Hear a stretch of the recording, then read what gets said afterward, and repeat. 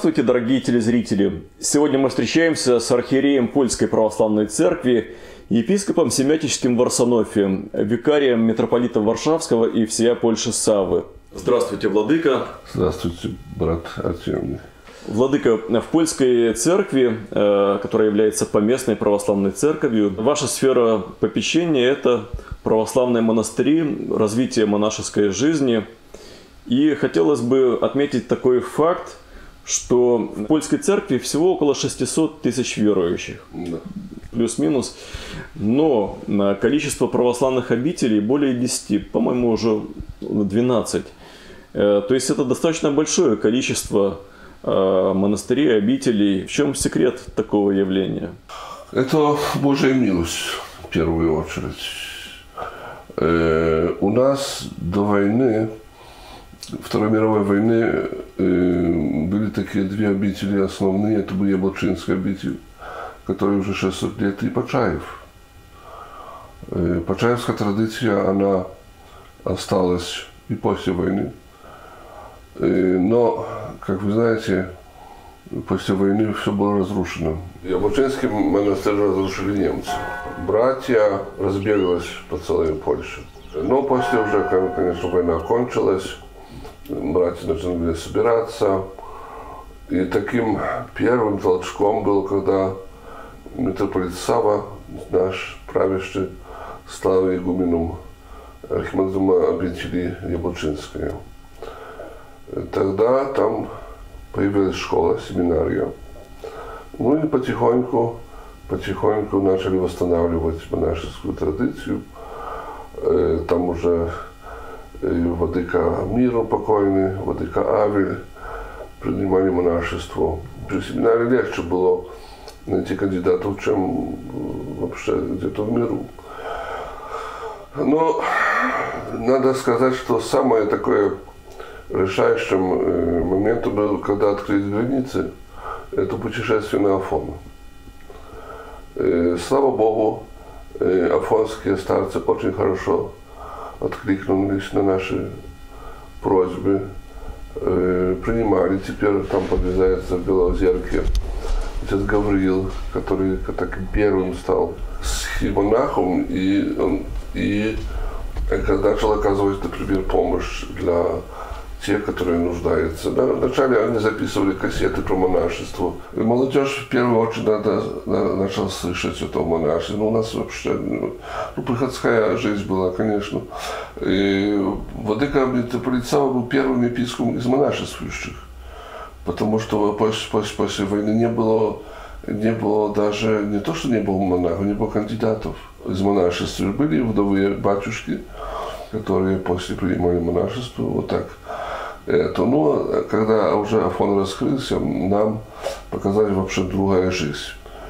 И, думаю, здесь огромную роль э, сыграл э, схи архимандрит э, Кирилл из Белозерки, который очень хорошо к нам отнесся. Оказали помощь.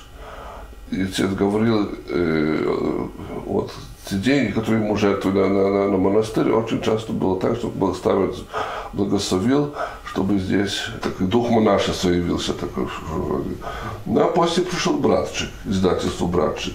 Братчик перевел старца Паисия. Э, И этот был таким, таким основательным толчком.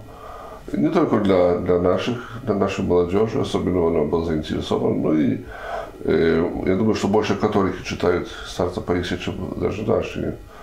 Ну и э, с другой стороны, огромное попечение владыки митрополита о монастырях, о, о заботе о жизни монастырей, как они живут, э, что сделать, где можно новый какой-то открыть. Конечно, у нас нет старчества такого, как там э, в Почаеве, там, или на Афоне. Ну, как-то спасаемся по книгам, как-то говорят. Спасаемся. Ну и братчик очень много э, перевел э, афонских старцев, подвижников. После к нам пришла уже русская литература э, духовная, добротолюбие на русском языке. И даже есть у нас такие монашества, которые, например, э, отец католик, мама неверующая, а он идет в монастырь, придет. Православный. Да, да, у нас много есть. Не буду называть, но есть такие. Есть монашество из православных семейств, чисто православных семейств. Есть э, у нас даже монашки, которые сбегали из католических монастырей и пришли к нам, удрали. Так что э, пути, пути они Господь определяет. Я думаю, что это милость Божия прежде всего. Это Божья милость. Люди, которые приходят в монастырь, они начинают менять свою жизнь. Ну, нам есть что посоветовать, есть что дать, книги. Но я думаю, что э, важно и попечение владыки митрополита. Мы чувствуем, что он, заботится, он звонит, чтобы и как монастырь живет, как там хозяйство, как там то, как, как службы. Но стараемся сохранять, конечно, православные традиции монашеских, столько можем. Мы не Афон и не Почаевская лавра, но насколько это, потому что люди э, очень часто приходят в монастырь с семейств, где вообще никогда про монашество не слышали. Э, ну так, так что всякие судьбы бывают. Стараемся. Есть и дети священников, которые вот я тоже поповский сын, который мне так очень всегда, я мечта, это была мечта. А мечта была такая, что мой папа, отец Владимир, э, когда он был в семинаре в 60-х годах, они сделали паломничество Почаев.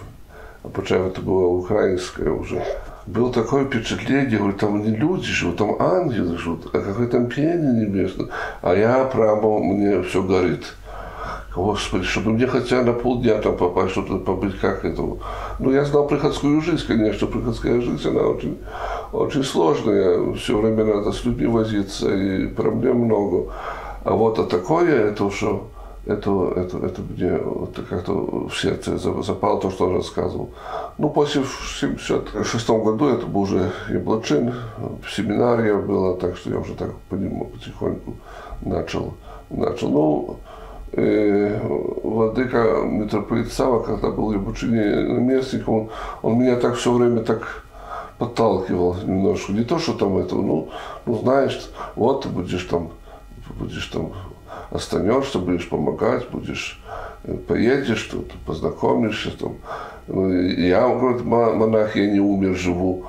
Ну, это где-то, ну, тяжело, знаете, если нету такой традиции, например, в Греции с отца или на фон идут, это, это сложно. Но, слава Богу, как-то Господь, Господь э, так этим все. Так что это такой феномен, который тяжело э, рационально понять, потому что каждый имеет свой путь. Я думаю, что очень важно у нас монашество, это всегда Святой Паисий говорил, создавайте трезвое, нормальное монашество. В наши времена это очень важно, чтобы вот противостоять этому э, светскому миру и этим всем соблазнам, которые в миру создаются. Ну и так что, ну мы много учимся еще много учимся, мы ездим, смотрим, э, нам помогают. Тоже, слава Богу, что вот откликнулись вот греческие братья на Афоне, которые нам, нам очень великую помощь оказали. Они были здесь, к нам приезжали, икону чудотворную нам привезли. Тогда э, паломничество пришло около 15 тысяч молодежи из всей Польши. Они, они через всю Польшу шли пешком. Это молодые люди, которые Э, приходим в монастырь. Э, они ищут выбора в жизни какого. А мы им предлагаем, пожалуйста, кто хочет, вот читайте, разумляйтесь. Кто в семинарию хочет, пожалуйста, кто, кто хочет в монастырь, кто хочет стать священником. Поэтому, слава Богу, мы как-то так э, благодаря нашему епископату, может, не, не, не еще раньше, когда еще покойный митрополит Василий жил, владыка митрополит Сава перенял это огромное попечение молодежи, и это приносит великое, нам великое э, такой плюс приносит. Э, поэтому, ну, слава Богу, э, монашество сердце церкви. И мы, мы знаем, и наш народ православный в Польше очень любит монастыри, много жертвует, много э, вносят значит, своего какого-то позитивного духа тоже через монастырскую. Много учатся. Например, ну, у нас научились молитву Иисусу, начали сколько, 20 лет тому назад, узнаешь, что есть такая молитва Иисусова. Где-то слышали, что там такое есть молитва? Это все у нас наново, все новое. Владыка, вот вы несколько раз, э, отвечая на предыдущий вопрос, процитировали старца Паисия Святогорца. Я знаю, что вы э, общались со старцем, э, будучи на обучении в Греции. Что вы подчеркнули от общения со старцем Паисием? Что подчеркнули для своей монашеской жизни, для развития монашеской жизни в Польше? И каким он вам запомнился вот как человек? Это было чудо, потому что когда я был в Греции, там полтора года, меня отец Ян Мейндер послал, чтобы я там немножко э, побыл. Э, отец Ян Мейндорф? Да, да, он мне помог. Так, ну, знаете, вы там, говорит, пока вернетесь в Польшу, вы не знаете, потому что времена были такие, э, мы не знали, ли пройдет этот, э, этот социализм, он останется, это солидарность. То есть это 80-е годы были? Да, 80-е годы, да. Ну, он так послал мне. И, ну, говорят, э, в Фессалониках на факультете богословства, что старец Паисий, старец Паисий, а старец Паисий туда поехал, студенты. А старец Паисий туда, а старец Паисий знает все языки мира, а старец Паисий все болезни исцеляет. Ну, я поехал, значит, когда я уже был в Белозерке, так э, к отцу Кириллу, вы знаете, я, я хотел бы ну, благословить старцу Паисию. Ну да, он, ну да, ну, ну, ну если хочешь, ну там, ну, ну да. Ну, так он не, не, не очень так, но мне интересно было. Ну и благословил, я пошел, первый раз был, это там было закрыто, и там у него был такой забор, и была такая проволока и ключ. Вы звонили, если он вам благословил, то посылал ключ, вы открывали и для этого. Но там несколько человек было и писал, я оставляйте ваши карточки, я за вас всех молюсь. Я три раза у него был. Ну, другой раз э, пошел, это уже нормально так. Я, я не знал, что он святой. я с ним, ну, он очень, очень интересно уже из Польши. Как православный из Польши, там же все католики. Ну, я ему рассказал историю нашей церкви немножко. Я его пригласил в Польшу, говорю, приезжайте к нам. Вот, мы, вы очень нуждаетесь, у нас возрождается монашество. Как-то мне очень-очень-очень открылся. Он как, ну, ему рассказывал, ну, мне мама умерла тогда. Я вот говорю, не знаю, мама умерла. Ну, говорит, вы, ты, ты, ты не беспокойся. У тебя теперь две мамы Божьей Матери, твоя мама там радуется. Ну, я спрашивал, что будет у нас или война будет в мире. Не, не, не беспокойся, мучеником ты не будешь, не беспокойся. Э, после э, рассказывал мне про старца Тихона, когда, знаешь, вот, мы три часа беседовали. Говорит, вот у меня русский старец был Тихон, я у него был послушником. И когда-то я понес ему кушать, обед, я открываю дверь, он уже перед смертью лежит, уже на постели, очень злой такой что ты там пришел, ты, ты мне там помешал, что такое. Я говорю, отец, а что случилось? Ну, меня гости были. А кто такой был? Ну, Божья Матерь Сергей Радовский. Мы беседовали. А ты вот, вот такой он. Ну, такой его очень греки любили он писал приглашение на свой похорон в греческий монастырь. Я уже сам выкопаю яму, но вы только проходите меня, опустите, помолитесь, это на меня будет. Вот, это мне он, он, он рассказывал. Я первый, первый раз тогда про старта Тихона. Он был, э, говорит, что он был э, значит, свидетелем, когда э, он у него там спал, у старца Тихона. А старый Тихон сказал, ты не приходи только ты только на литургии Благословенного Царства приходи, а на утреннее, на утреннее, на, на, на, на не приходи. Ну, я говорю, ну, как, почему? Я, говорю, ну, я был молодой, мне интересно было. И вот я стою, проскомедию совершает, а на проскомедии Святой Ян Креститель стоит, ангелы стоят. Все стоят, которых он упоминал. Я вообще в обрак попал, ну, поисповедовал отца, ну, ты никому не говори, знаешь, я грешный человек, ну, видишь. Я, После он мне рассказывал историю, которую я никто, никому не рассказал. И э, когда я э, напис, издал Арсения, который мне попросил его, его крестного отца, старца Арсения, что вот видишь, мне уже надоело жить. Я человек грешный. Что же от меня хотят? Я сам должен поучиться в каких-то э, старцев великих. ничего я в жизни не сделал да, хорошего. Э, эту. Ну и думаю, а, надо умереть. А как умереть? А очень просто. Думаю, я пойду э, на Афон, там пещеры есть. В пустыню там в пещере я взял с собой хлеб, взял воду, Великий пост. Я пошел, так сделал. Ну, там молюсь, молюсь, прочитаю все псалтирь, все монашеское правило. Все, хлеб кончился, вода кончилась. Думаю, ну, голодной смерти. Думаю, Господи, прими дух мой. Мне так говорит. А после слышу, что в кустарнике что-то такое пошевелилось. Я выхожу из этой, из этой пещеры, смотрю, а там светятся глаза, волк стоит. Ну, Господи, благодарю Тебя, что Ты выслушал мои. Пришел волк, чтобы меня съесть. Я стал на колени, обнял голову э, руками и ожидаю, говорит, чтобы, чтобы он меня съел, но не съедает. Стою, стою, ожидаю, ничего, ничего, ничего. Э, молитву Иисусову твору. Э, после что-то мне нет. Я открываю глаза, стою, стою на кресле, смотрю на него. Он мне приносит вот такой хлеб в зубах, оставляет передо мной и уходит. Это его слова, это вот как, как эту. Но мне то, то рассказал, он говорит, ну, старый, значит, тебе еще жить надо, что лучше попомучиться. Ты еще не достоишься Царства Небесного. Вот. Я много раз спрашивал, говорю, у нас вот мы начинаем так монашество в Польше потихоньку.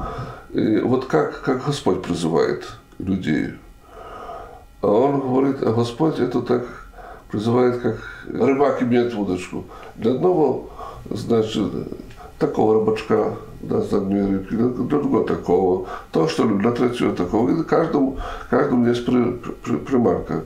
Вот. И так Господь ловит всех, которых для спасения в монастыре. Так что для тебе тоже что-то там подготовил такое. Ну, мы там рассказали, ну вот видишь, так что, так что э, милость Божья такая. Ну, а позже я говорю, ну, вот, ну что хотелось бы к вам прийти. И он, ты знаешь, ты когда придешь в следующий раз, то ты там через, не иди через форточку, вот там в заборе дыра.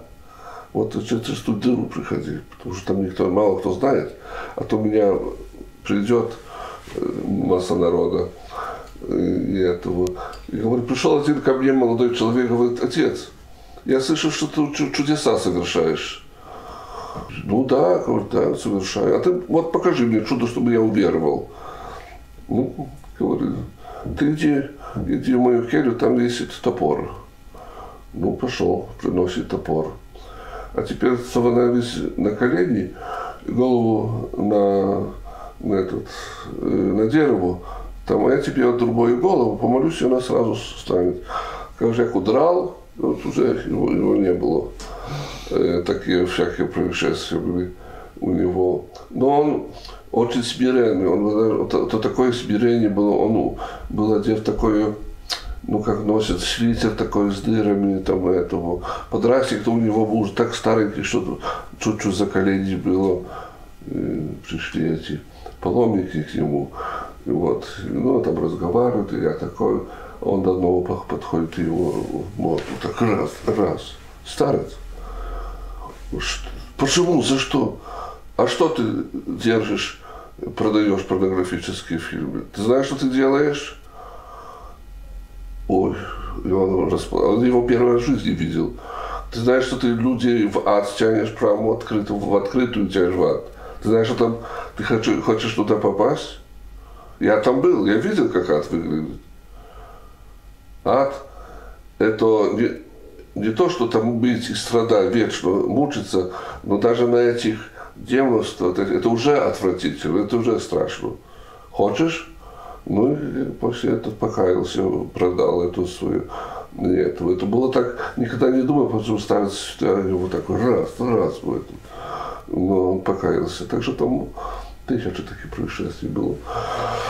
Владыка, ну, если вернуться к основной теме нашего разговора, к жизни монастырей в Польше, наверное, одним из самых значимых э, событий э, которое состоялось в прошлом году, было освящение восстановленного э, Благовещенского храма в Супроследской обители, которая насчитывает уже более пяти веков своей истории.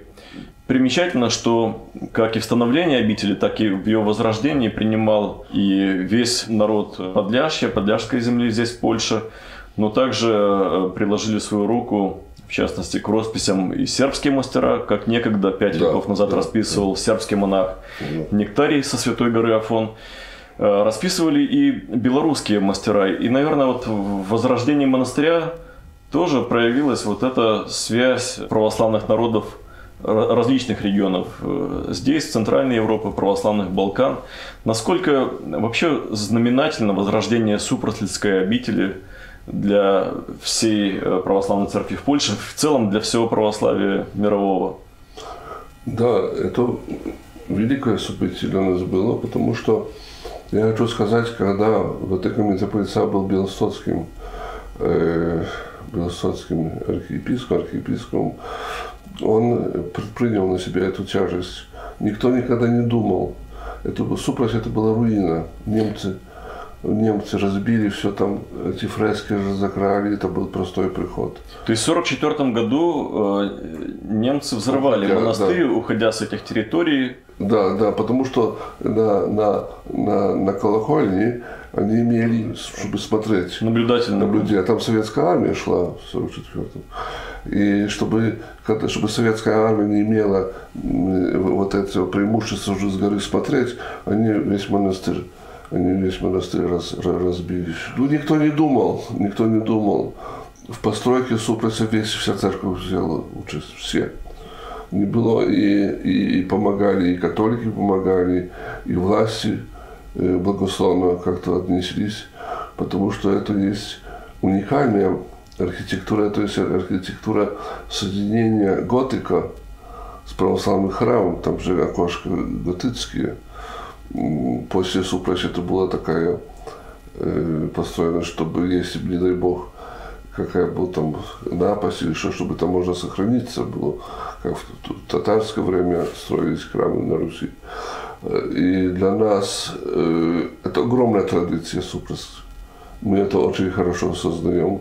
Это есть Супровские манускрипты, Ермоловые Супровские, э, известно по всему миру. Также у нас это очень, очень, очень важно. Ну, тоже важно было, кроме того, что мы его отстроили, чтобы возродить и там монашескую жизнь, там был приход. Владыка покойный там уже подвязался. Конечно, там было много братья, но когда уже другие монастыри строили, так и братья по другим монастырям немножко разошлась. Но, слава Богу, в наше время. Ну, Владыка Андрей взял на себя эту огромную, огромную тяжесть расписки, это огромные деньги. И народ, и то все от народа. Ну, власть тоже помогала. Но теперь, я думаю, что во всей Европе, от Богу на запад, нету церкви такого такой постройки, таких расписей, как у нас в Супросе. Это вся Европа туда приезжает. Особенно потому, что Супрос это еще она имеет свой микроклимат. Там приезжает отдыхать. Я помню, когда-то, я там, когда я там был, приехали мотоциклисты такие, это, на, на эти Харле такие всякие приехали. Я подошел, мне так интересно, мотоциклы такие хорошие. Ну, то мы начали разговаривать. Они с Щетина приехали. Где Штатин, где Супрось? Вообще Щецин, с, немецкой, с немецкой границы. Это их приехало там уже с 20. Э, и они там весь день там были в этом музее икон были. Я говорю, ну что ж вы так приезжаете? А батюшка, мы каждый год приезжаем сюда, потому что мы очень хорошо здесь чувствуемся. Каждый год мы сюда приезжаем, здесь очень так, вообще другой, другой мир, как бы, вот. Super to wizytówka, прежде всего для всей Польши. Важно то, что монастырь в 1496 году он создался. Также православие было здесь еще до заборов. Было еще до, до разделения, до разделения Польши. Потому что есть такие языки, которые историки очень такие ревностные, которые говорят, что Польша, в Польше просто пришел в втором месте, когда э, было разделение, вот привез. Царь на телегах привез. На телегах привез. Да. да, но это, конечно, сегодня уже это, это опровергнута, эта версия. В Польше хорошо знают, что просто пришел с Киром Мефодием в Польшу, были, их ученики принесли. И вот, например, Яблочинский монастырь, Яблочинский. Да, это есть свидетельство, что мы мы э, здесь уже тысячу лет. И мы такие, такие самые тогда в таких правах, как и другие, что мы не привезены, мы здесь, как-то кто-то говорил, что мы не с парашюта нас никто не сбросил. Мы Супровский монастырь, он является таким, таким особенным местом. И э, там были школы, там было просвещение, он был очень богатый, э, много земель. И, ну, то, то уния пришла, Примуни он пошел запустение духовное, но и после когда вернули церковь, мы потихоньку стараемся его. Но это был подвиг всей церкви. Это был подвиг. И верующие, и неверующие жертвовали, кто только мог, потому что ну, это такой символ нашего православного единения. Неважно, кто ты, это белорус, украинец э, или, или, или поляк, но, но это православное самое, самое ваше, это православное. И вот Поэтому стараемся, стараемся. Отец говорил покойный очень много там вложил труда. Ну, каждый, каждый, каждый, кто там был, что-то свое, что-то составлять. Ну, слава Богу, слава Богу, что наши власти польские хорошо к нам отнеслись. Огромную роль отыграл наш посол Чехвин. Он тоже ходатайствовал в Сейме. За посол, депутат Сейма. Депутат, да. По-русски. Евгений. Его тоже трудам благодаря ну, вот это, это подвиг. Это не так, что кто-то себе подумал, на другой день уже все так. Нет, это надо было очень тяжело работать. Даже были семьи, семьи, которые даже одну треть своего жалования отдавали на Субрский монастырь, потому что надо, если построить, надо быстро строить, потому что времена могут поменяться. Сегодня можно, завтра может уже не дадут. Так что мы так, мы так, так думали. Так думали, так думаешь. Строить надо построить и все. Если уже построили, то наше уже нас никто не заберет. Владыка, вы э, упомянули, что э, в униатский период монастырь пришел в упадок. Ну, это было заметно не только по состоянию духовной жизни, но и хотя бы по тому факту, что униаты замазали известью все фрески уникальные. Да. Э, старая братья вынуждена была уйти из монастыря, но были такие обители, которые Э, несмотря на все притеснения, оставались православными, что самое удивительное, Яблочинская обитель, да. буквально в 30 километрах от Бреста, где епископы-отступники объявили унию с Римом, осталось православие. Вот э, можно ли говорить, что здесь э, православие оставалось может быть, где-то в такой криптоформе. И, насколько мне известно, в последнее время попытки униатов возродить свой проект снова обретают некую форму, в том числе и в Супросле они пытаются какие-то свои претензии на да. нашу святыню показать, объявить. Уния для нас это была катастрофа. Это было предательство, страшное предательство. Э, один, это для нас это было как Великая Пятница, когда Юда предал Христа. Э, они поехали, вот эти епископы-предатели, в этот Балабан и Терлецкий там в Рим, они приняли унию, подписали с папой, но вернулись еще как православные. И обманывали. То есть они утаивали? Они то, утаивали, что... да. Потихоньку, потихоньку, потихоньку это все уже, когда начали преследовать православных, э, конечно, это было страшно. Но и проблема в том, что униаты э, всегда им покровительствовали э, короли власть. Через им обещали, что они будут иметь даже свое место в парламенте в Варшаве. Ну, конечно, их тоже, их тоже обманули. Не были страшны, тысячи людей погибло. Вот этот Кунцевич, когда его в Витебске там, казаки засекли, тогда Зигмунд III король сказал, что там 400 человек, что были православных убиты за, как месть. Ну, на, наверное, стоит вспомнить и обстоятельства, из-за чего э, убили униатского э, архиепископа. Он даже запретил, чтобы, когда был похорон православный, чтобы выносили покойника через центральные врата, только чтобы выносили там, где выбрасывают эту всю нечисть, чтобы... Канализацию, грубо ну, говоря. Что-то, вот. После он выкапывал там, где были православные похоронены, он э, наново выкапывал, э, раскапывал гробы и кости выбрасывал. Он сказал, что вот эти схизматики, они э, православные, которые папы не почитают, они недостойны даже на этой земле. Но мучил, мучил, мучил, в конце казахи, ну, надо что-то с этим сделать. Уния повлияла тоже на политику государства. Польша снова стала быть, э, стала быть разыгралась вот эта война религиозная, ненужная. Потому что так был один, в Византии, Запад, Восток была одна церковь, католики ушли, э, две, и думали, что снова будут э, две после, а теперь три оказалось. Задачей Ватикана было, чтобы униатов быстрее в латинство перевести. Но это не удавалось. Вот они в 1720 году такой Замойский собор сделали где упрекали униатов, что надо быстрее, быстрее выбрасывать там иконостасы, что это, что это надо в латинскую вот, иконы, надо, чтобы были такие западные, это. Но это не вышло. Это не вышло, они не перешли. Когда сказал мне один кардинал во Франции, э, католический, что униатизм – это больной ребенок э, ватиканской экклезиологии неизвестно, что с ними делать. Ни они ничего не вносят, ничего хорошего не приносят. Православные, конечно, держали за свою веру. Афанасий Брестский, который пешком ходил в Варшаву, защищал православие и проклял унию. Унию принимали богатые паны, земледельцы, которые имели. Ну, ему говорят, знаешь, ты будешь унию, вот, будешь как бы сравнивать с польскими панами, знаешь, которые имеют все все приоритеты там этого. Ну что же, он принимал унию, а народ?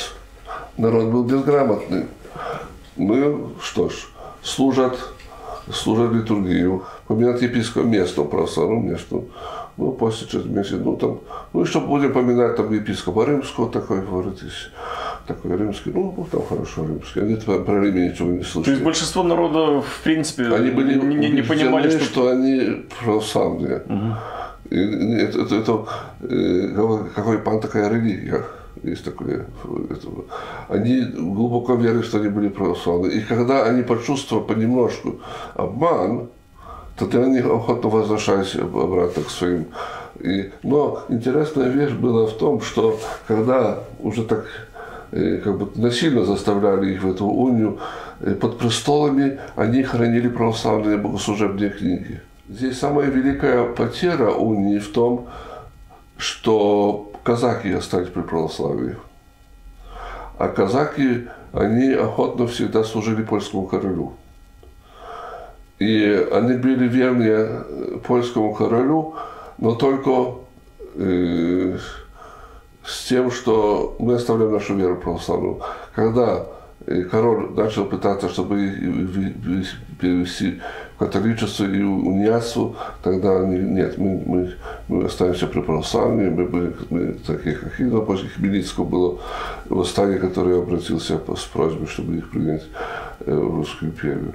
Но у уния ну, до сегодняшнего дня где-то есть такие, это беда у нас все мучит с этой унией, потому что э, стараются теперь э, говорить, что вот у, у Супрос это униатское, что нам надо это восстанавливать.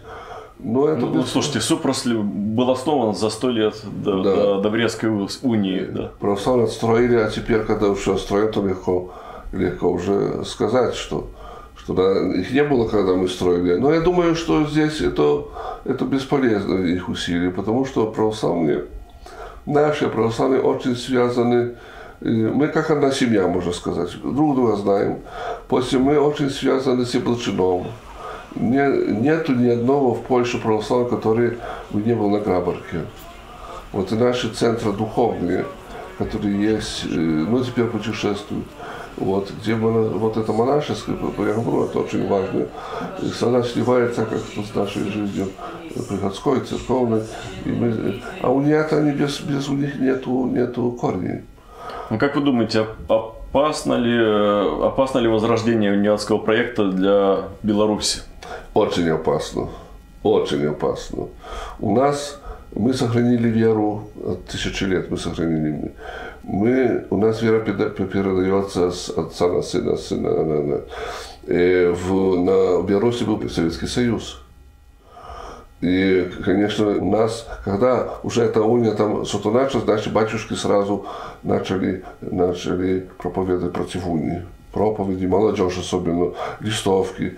Каждый, каждый что-то там прочитал, знаешь, кто это не знал. А там, знаете, если человек, он не был связан с церковью, а ему говорят, что если вы примете унию, то будете жить как в Америке, это их такая такая, так, так, такая лозунг у них был. Это людей очень легко обмануть. То есть легко э, ввести в заблуждение тех людей, которые, которые не унаследовали духовную традицию от своих отцов, от своих отцов, дедов, бабушек. Да, но они, прадедов. у них они больше, э, ну, у них благодати нет, они потеряли благодать, конечно, церкви, но они больше на национализм. Вот мы националисты, мы белорусы, мы украинцы, мы, мы, это, мы не православные, мы не католики, вот это самое среднее, вот такой национ был, я его очень хорошо То есть знал. у нас национальный проект для Беларуси. Для Беларуси. Э, ну, они ловят, ловят даже, даже неверующие. Это очень ловушку даже неверующие могут впасть. И поэтому очень опасно. Надо, на Беларуси надо, чтобы церковь работала, молодежь, священники работали, работали, еще раз работали, потому что может быть беда. Владыка, в завершение нашей беседы э, хотелось бы пожелать, чтобы и далее православные Польши могли спокойно и уверенно свидетельствовать о своем православии, о вере своих э, отцов, дедов, прадедов. И, конечно, чтобы и дальше на, и здесь, э, в Подляшье, в других регионах сохранялся религиозный мир, которым э, Польша может гордиться. Напомню нашим телезрителям, что сегодня мы беседовали с викарным епископом митрополита Варшавского и вся Польши Савы епископом Семякичским Варсонофием. Владыка, благодарю вас еще раз. До встречи. Спасибо, Господи, до встречи. Помоги Бог. Слава!